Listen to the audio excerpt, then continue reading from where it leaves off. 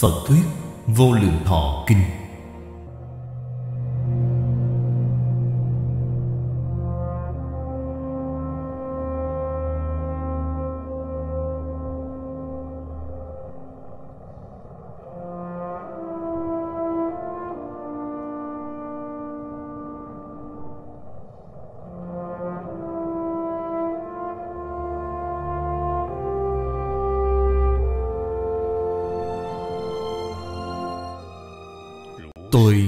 Vậy, Một thời, Đức Phật Thích Ca Mâu Ni Ở tại núi Kỳ Xà Quật, Nơi thành Vương Xá, Cùng với 12.000 vị đại tỳ kheo. Bấy giờ, Thế Tôn với thần thái oai nghi, Dung nhan thanh tịnh đẹp đẽ, Toàn thân Ngài phóng ra quang minh rực rỡ.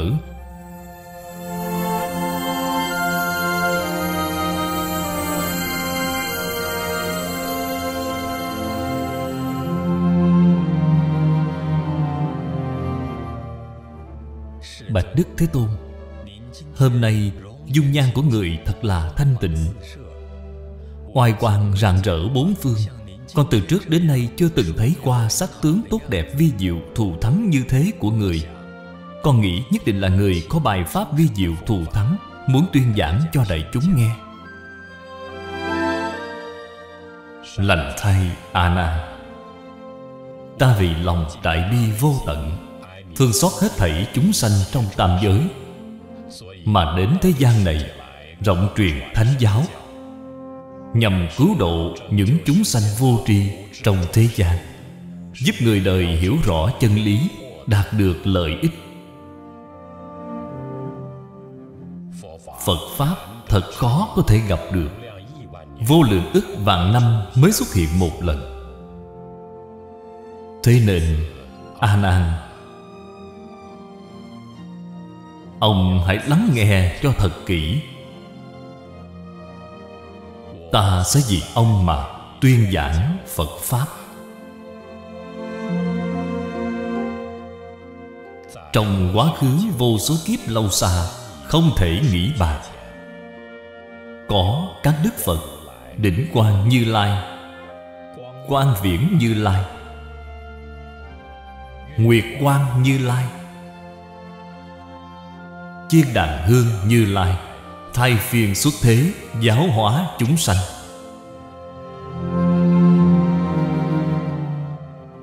Sau đó, Có một vị Phật Là Thế gian tự tại Vương Như Lai ra đời.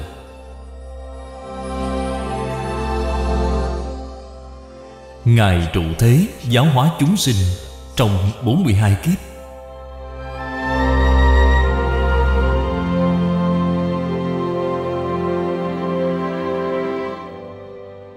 Lúc bấy giờ, Có một vị quốc vương, Sau khi nghe Phật thuyết Pháp, Thoát nhiên khai ngộ, Phát tâm cầu chứng Phật Đạo. Ngài từ bỏ ngôi vị, Xuất gia làm sa môn. Hiệu là Pháp Tạng Tỳ Kheo.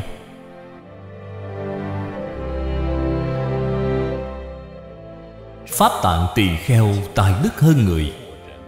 Giống mảnh tinh tấn, Không ai sánh bằng.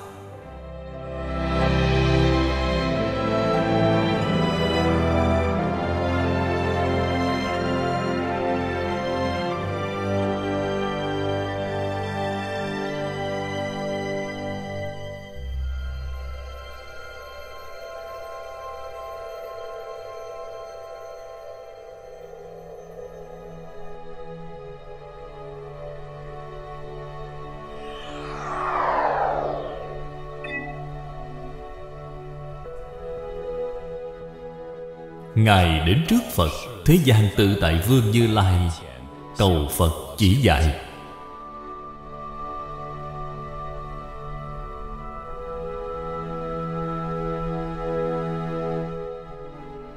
Bạch Thế Tôn, Con đã phát tâm cầu đạo vô thượng chánh giác. Xin người vì con mà rộng giảng kinh Pháp. Con xin phụng trì như Pháp tu hành. Thành tựu cõi nước tình độ trang nghiêm thanh tịnh. Để con đời này chóng thành chánh giác, Dứt sạch gốc khổ sanh tử.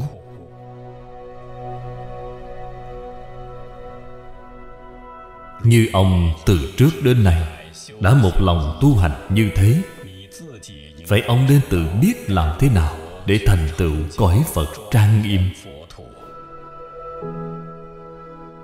Ý nghĩa của việc thành tựu cõi Phật trang nghiêm Thật quá sâu rộng. Với năng lực của con Vẫn chưa thể nào hiểu được. Cưới sinh Thế Tôn, Vì con mà rộng nói các cõi nước của chư Phật Như Lai Và các Pháp để đạt được thành tựu.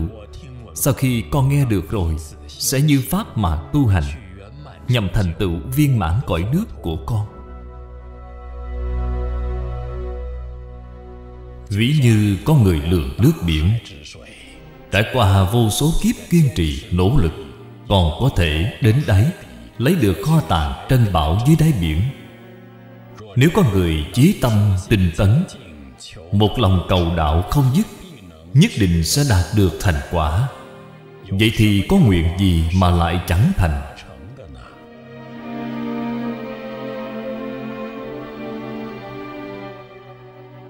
Thế rồi Thế gian tự tại Vương Như Lai đã dùng thần lực mà giới thiệu cho tỳ kheo Pháp Tạng.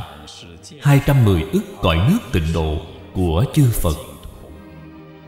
Đồng thời, Ngài còn giảng giải rằng, Trong các cõi nước Phật đó, Do chúng sanh có những việc thiện ác không như nhau, Mà hình thành nên cõi nước không như nhau. Pháp Tạng Tỳ Kheo, Sau khi nghe Đức Thế gian tự tại Vương Như Lai Giảng về các cõi Phật thanh tịnh Khảo sát kỹ càng, liền lập thể nguyện rộng lớn. Vì để tích lũy công đức cần có cho việc thành tựu cõi nước Phật trang nghiêm, Ngài đã chuyên tâm một lòng, Tinh tấn tu trì trong thời gian năm đại kiếp.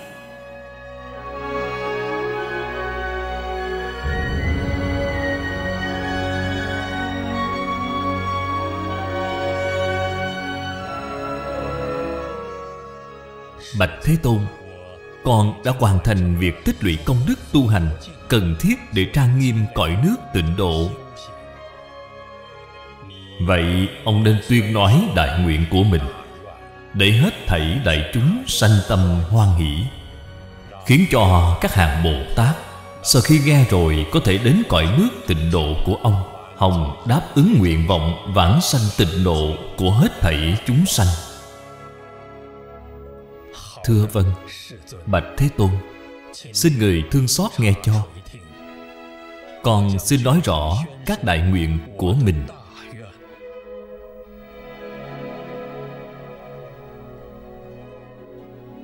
Khi con thành Phật Trong cõi nước tịnh độ của con Không có ba đường ác Là địa ngục, ngạ quỷ và súc sanh.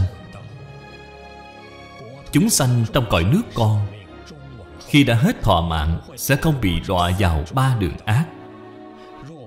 Nếu không được như nguyện, Con sẽ không thành Phật.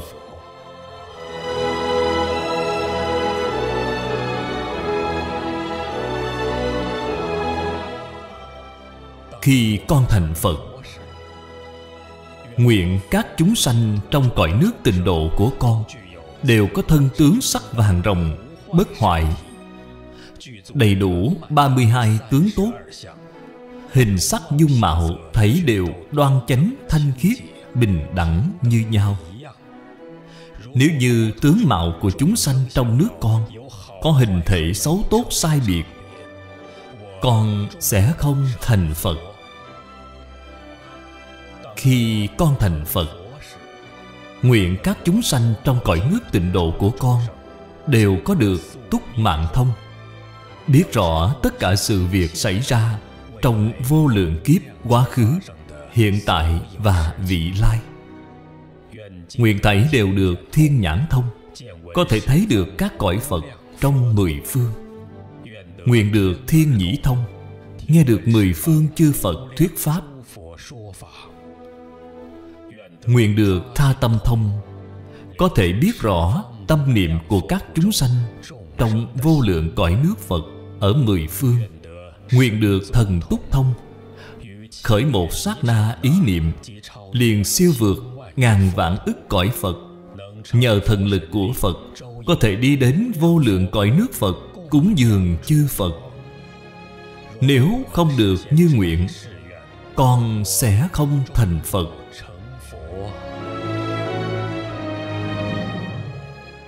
Khi con thành Phật. Trong cõi nước tịnh độ của con, Không có khái niệm bất thiện. Hết thảy chúng sanh Đều an trụ Trong trạng thái chuyên chú tịch tỉnh, Đạt được chánh định của Bồ Tát bất thoái. Nếu như có người khởi niệm vọng tưởng, Cho rằng thân này là mình, Tham chấp toàn tính, Tùy thuận phiền não con sẽ không thành phật. Khi con thành phật, nguyện cho thân con phóng ra vô lượng quang minh, chiếu khắp vô lượng thế giới trong mười phương. Thọ mạng của con vô lượng vô biên, thọ mạng của chúng sanh trong nước con cũng được vô lượng vô biên. Trừ phi tự nguyện giảm đi thọ mạng Thọ mạng dài ngắn, tự tại. Nếu không được như nguyện, Con sẽ không thành Phật.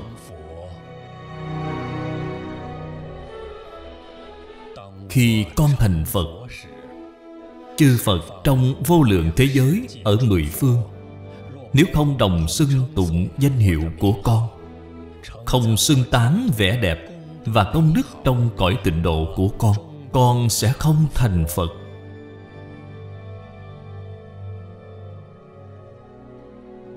Khi con thành phật, chúng sanh trong mười phương thế giới dùng tâm chí thành, vui mừng tin tưởng, mong muốn sanh về cõi nước của con. Cho đến chỉ trong mười niệm, ngoại trừ những người phạm tội ngũ nghịch và phỉ bán Phật Pháp. Nếu những chúng sanh này không được vãng sanh, Con sẽ không thành Phật.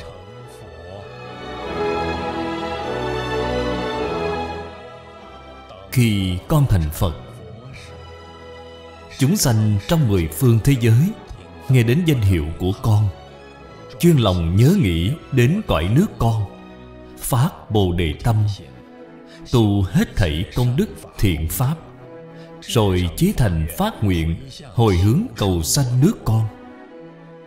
Đến khi người đó mạng chung, con sẽ cùng thánh chúng bồ tát hiện đến trước mặt người đó, tiếp dẫn vãng sanh. Nếu không được như nguyện, con sẽ không thành phật.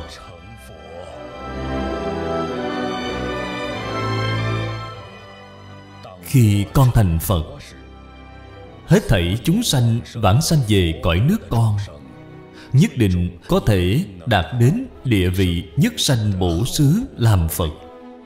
Trừ phi người đó phát nguyện ứng hóa tự tại, Cứu độ tất cả chúng sanh, Phát đại thệ nguyện Tiết công lũy đức, Hành Bồ Tát Đạo, Cúng dường chư Phật Như Lai Trong mười phương, Giáo hóa chúng sanh giác ngộ chánh đạo, tu tập theo hạnh nguyện phổ hiền.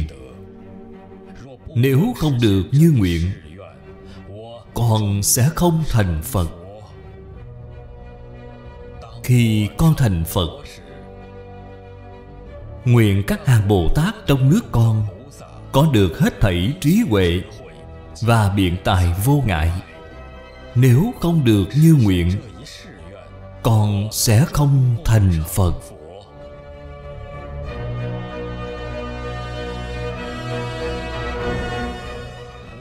Con lập nguyện hơn đời, tất đến đạo vô thượng.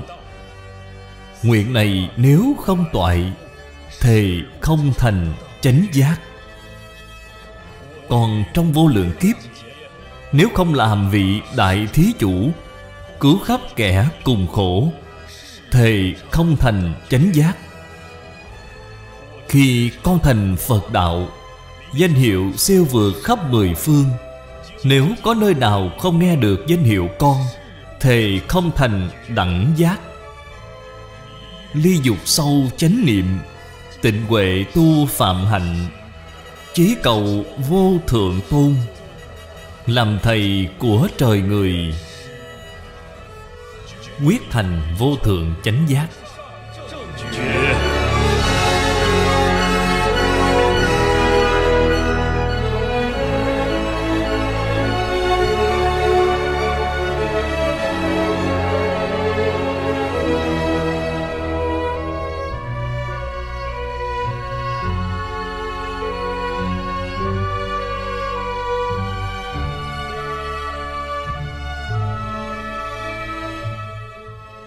Sau khi Pháp Tạng Tỳ Kheo Ở trước mặt thế gian tự tại Vương Như Lai Phát ra những đại nguyện này rồi, An trụ trong trí huệ chân thật Dũng mãnh tinh tấn, Chuyên tâm tu hành. Cõi nước Phật mà Ngài thành tựu Vô cùng rộng lớn, Có đủ hết thảy tướng trang nghiêm, Có thể khiến cho tất cả chúng sanh Thành tựu công đức, Vượt hơn các cõi Phật khác đáng được tôn xưng là tối thắng đệ nhất. Bồ tát pháp tạng là vị phật quá khứ đã diệt độ, hay là vị phật còn đang tại thế, hay là vẫn chưa thành phật? Bồ tát pháp tạng hiện đã thành phật hiệu là a di đà phật, cũng gọi là Phật vô lượng thọ. Quốc độ của Ngài ở phương Tây Cách nơi chúng ta mười vạn ức cõi Phật Cõi đó gọi là thế giới cực lạc. Ngài thành Phật đến nay đã được mười đại kiếp. Thế giới cực lạc của A-di-đà Phật Dùng bảy loại châu báu là Vàng, bạc, lưu ly, san hô, hổ phách, sa cừ, mã não Làm thành đại địa Rộng rãi bằng phẳng Ánh sáng chói ngời Vi diệu thần kỳ. Thanh tịnh trang nghiêm Vượt hơn hết thảy các cõi Phật trong mười phương.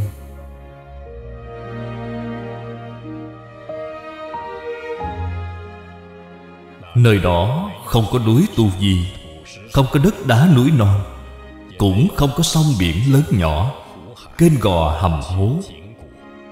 Nhưng nhờ vào Phật lực Nếu muốn nhìn thấy Cảnh vẫn có thể hóa hiện.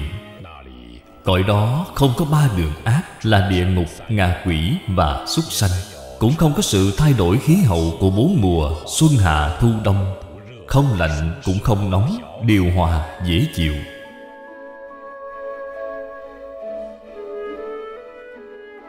Quang minh thần kỳ và uy nghiêm của a di đà phật không gì có thể sánh là ánh sáng tối tôn vua trong các phật, quang minh rạng rỡ của ngài phổ chiếu các nước phật trong mười phương.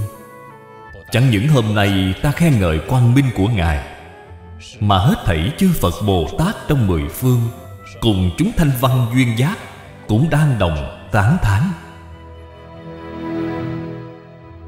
Nếu có chúng sanh nhìn thấy Hoặc nghe thấy oai thần Và công đức quang minh của Phật A-di-đà, Ngày đêm xưng danh tụng niệm Chí tâm không gián đoạn, Thì có thể như nguyện Được vãng sanh về thế giới cực lạc. Oai thần quang minh của Phật A-di-đà Đẹp đẽ thù thắng.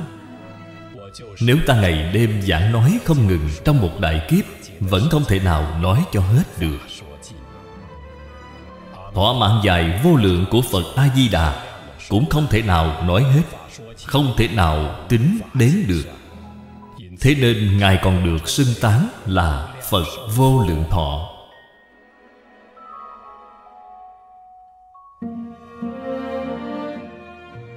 Đạo tràng của Phật A-di-đà Có cây báu to lớn, Cao 400 vạn dặm.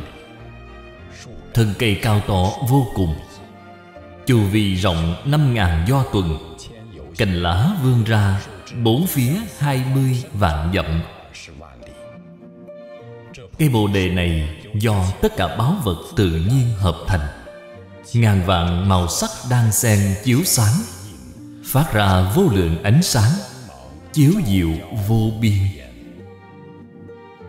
Khi có gió nhẹ từ từ thổi đến các cành lá phát ra vô lượng âm thanh vi diệu. Âm thanh vi diệu được phát ra từ cây bảy báo này, Thù thắng hơn âm nhạc của các đế vương trong thế gian ngàn ước lần. So với âm thanh trong mười phương thế giới là tối thắng đệ nhất. Nếu như chúng sanh nhìn thấy cây báo này, Thì có thể đạt được ba loại pháp nhẫn. Một là âm hưởng nhẫn, Hai là nhu thuận nhẫn, Ba là vô sanh pháp nhẫn. Đây đều là do sức oai thần của Phật A-di-đà mà đạt được.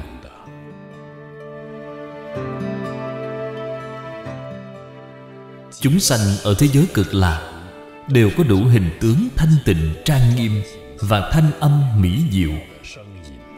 Thần thông tự tại vô ngại.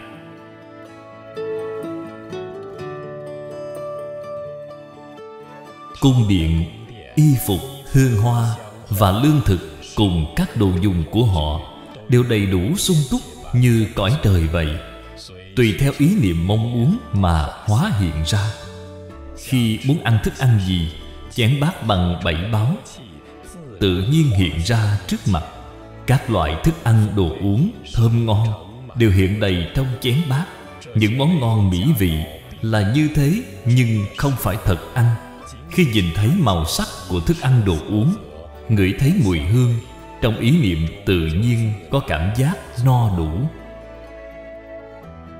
Những chúng sanh vãng sanh về thế giới cực lạc Thấy điều an trụ trong chánh định. Nhất định sẽ chứng được Vô thường chánh đẳng, chánh giác. Vì sao vậy? Bởi vì cõi đó không có tà định tụ và bất định tụ. Vô số chư Phật trong mười phương thế giới Đều xưng tán oai thần công đức Bất khả tư nghị của Phật A-di-đà.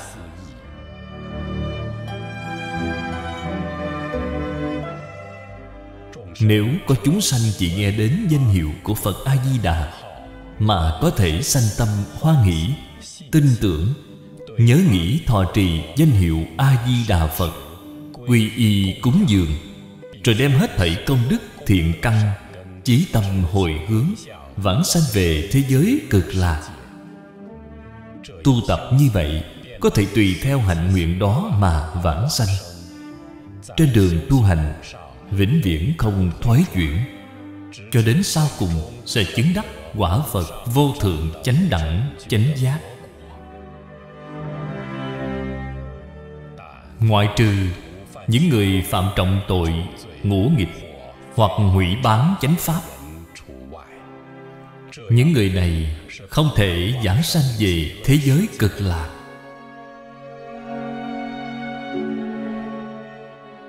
Đối với oai thần tối tôn của a di đà phật, chư phật như lai trong vô lượng vô biên thế giới ở mười phương không vị nào mà không tán thán. Các hàng bồ tát trong vô số cõi phật ở mười phương thế giới đều đến thế giới cực lạc để lễ bái cúng dường a di đà phật. Đồng thời lắng nghe và truyền bá giáo pháp cung kinh điển của phật. Các bồ tát ở thế giới cực lạc sau cùng sẽ đạt đến địa vị nhất sanh bổ xứ, thành phật về sau. Ngoại trừ những bồ tát vì chúng sanh phát đại thệ nguyện các ngài sẽ dùng công đức của thệ nguyện mà tự hành trang nghiêm. Rồi đi cứu độ giải thoát cho hết thảy chúng sanh. Chúng thanh văn ở thế giới tây phương cực lạc trên thân phát ra ánh sáng, Có thể chiếu đến một do tuần. Quang minh của Bồ Tát Có thể chiếu đến một trăm do tuần. Trong đó có hai vị Bồ Tát tôn quý bậc nhất. Một vị là Quán Thế Âm.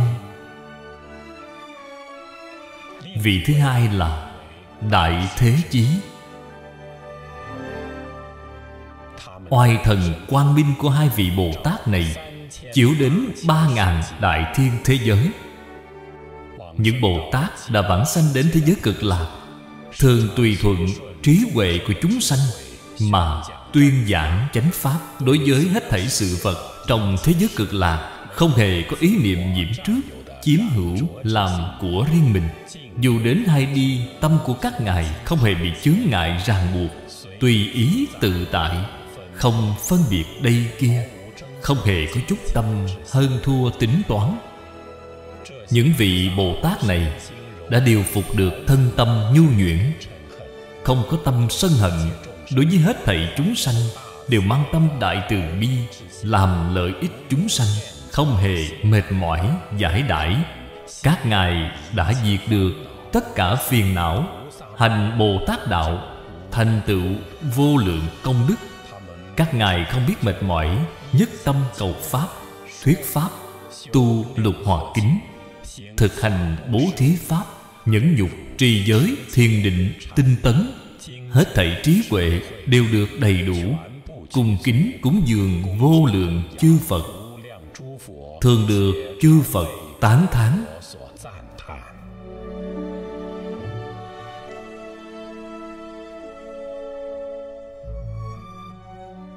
Tông đức và trí huệ của bồ tát và thanh văn ở thế giới cực lạc vô lượng vô biên không thể nào nói hết được thế mà, người thế gian trong cõi ngũ trượt ác thế, thống khổ khó khăn, lại đi so đo, tính toán, làm những việc mưu lợi, vụn vặt, vô ích của thế tục, lao nhọc khổ cực, tính kế sinh nhai, để mưu cầu cuộc sống.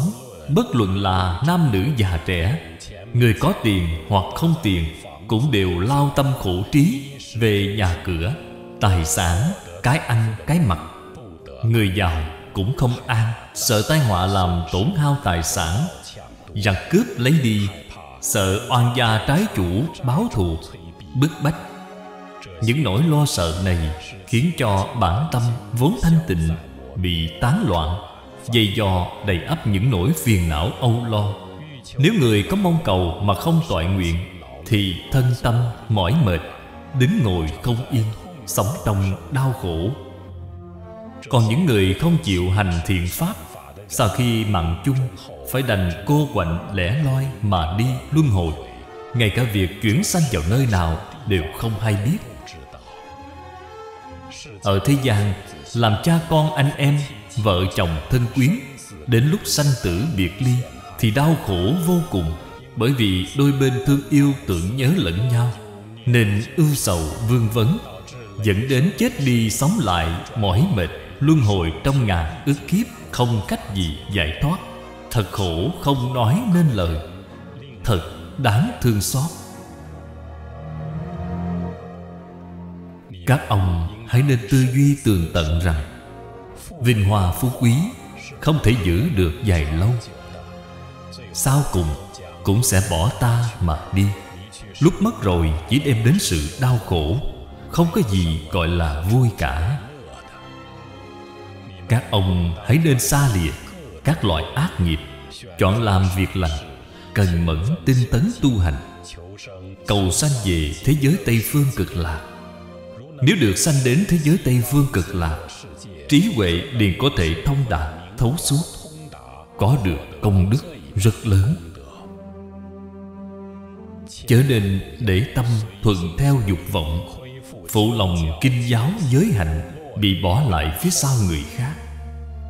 Nếu các ông có chỗ nào nghi vấn khó hiểu, có thể nêu ra, ta sẽ vì các ông mà giải thích.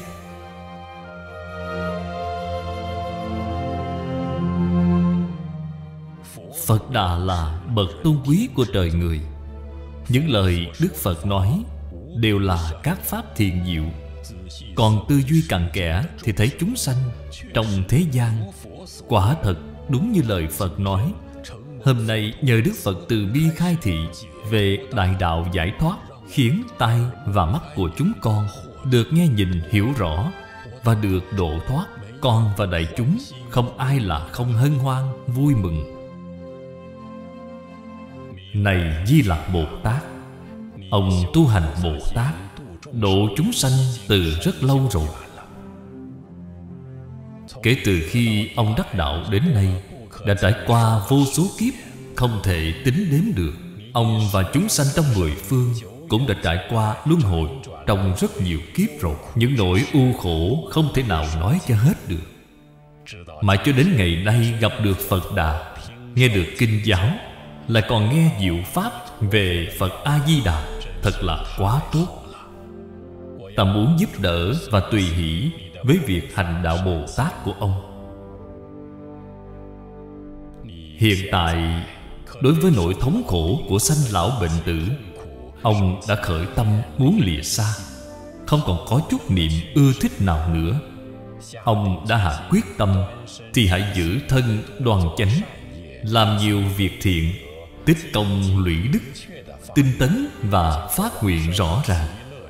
Ngày sau sẽ vãng sanh đến thế giới cực lạc Hưởng thọ niềm vui rốt ráo vô hạn, Tương hợp với chánh đạo trong Pháp giới, Vĩnh viễn xa liệt cái khổ sanh tử. Còn vô cùng biết ơn lời dạy ân cần của Phật, Chúng con sẽ một lòng tinh tấn mà tu học, Y giáo phụng hành, Không dám hoài nghi.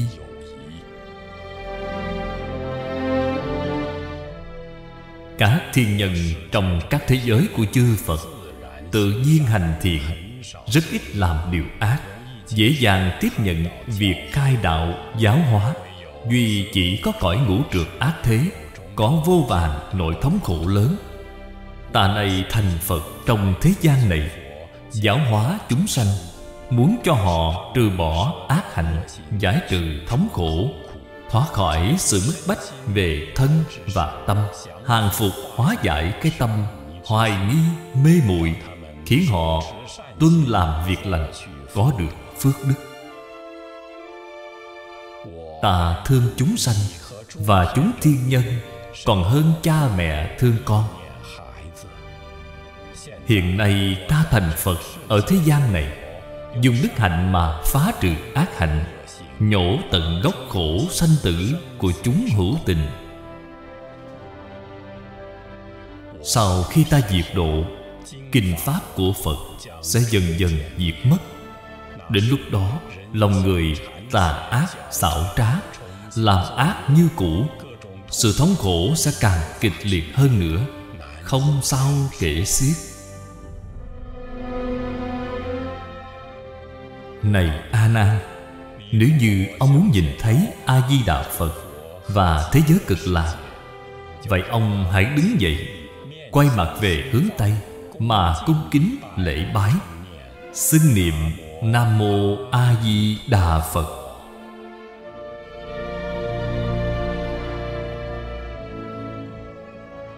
Nam Mô A Di Đà Phật. Con nguyện được tận mắt nhìn thấy A Di Đà Phật.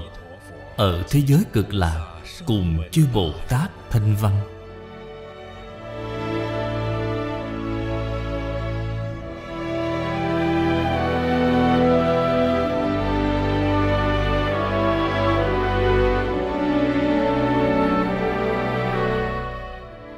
Bạch Đức Thế Tôn, Tại thế giới ta bà của chúng ta đây, Có bao nhiêu vị đã chứng được địa vị bất thoái?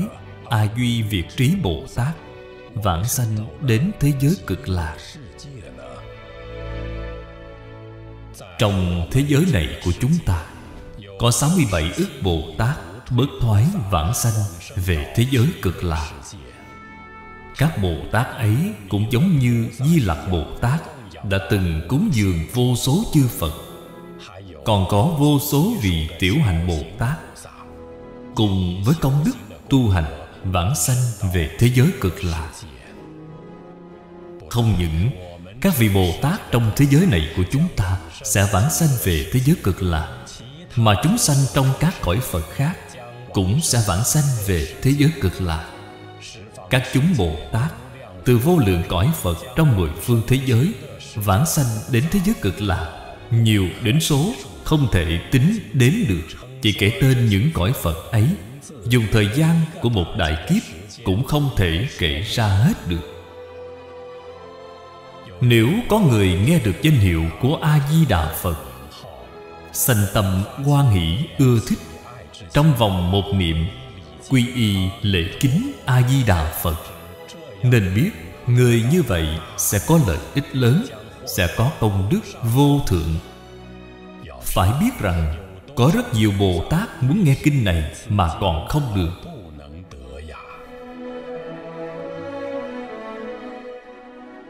Nếu có chúng sanh nào Có thể nghe và thọ trì kinh này, Thì có thể cầu được đạo vô thượng Bất thoái chuyển trong Phật Pháp. Thế nên, Các ông hãy chuyên tâm tính thọ, Trì tụng, Tuyên nói phụng hành.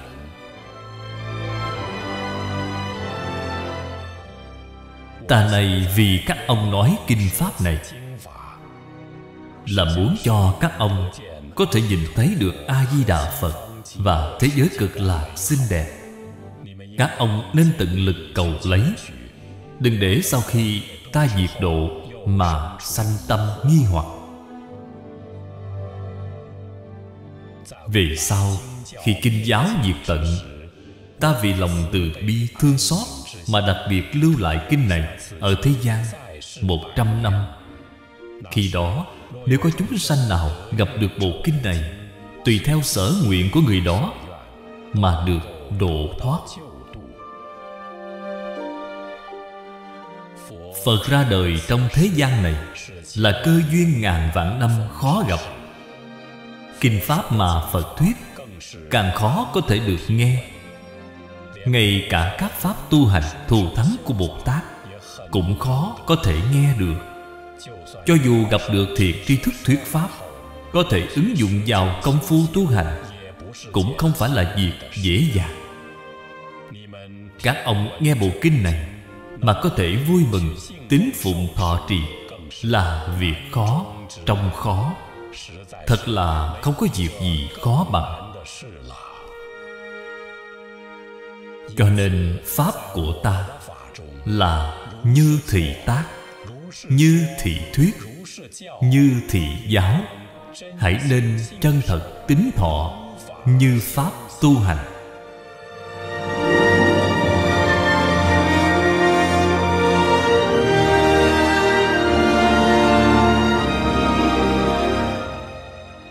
Sau khi Thế Tôn tuyên nói kinh này, Vô lượng chúng sanh Đồng phát tâm vô thượng chánh giác.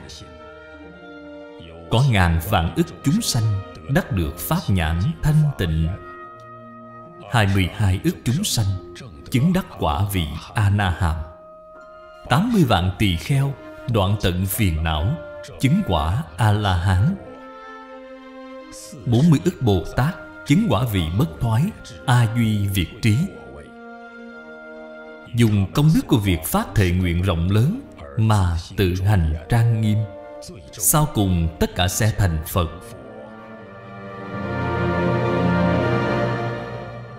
Lúc này, Ba ngàn đại thiên thế giới chấn động sáu cách. Hoàng minh chiếu khắp mười phương cõi nước.